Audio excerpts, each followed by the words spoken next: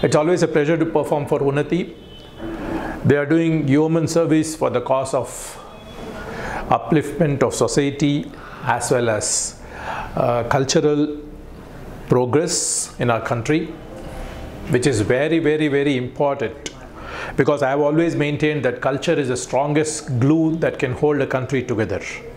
So, Unnati's service in both these areas is absolutely admirable.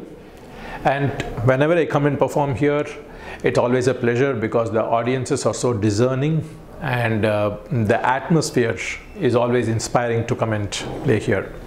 And like every year, this year was also no exception for me. It's a great uh, delight to be here. I came in especially for this concert, just flew in straight from the US and uh, came here to Bangalore now. So I look forward to playing here every year. Thank you very much.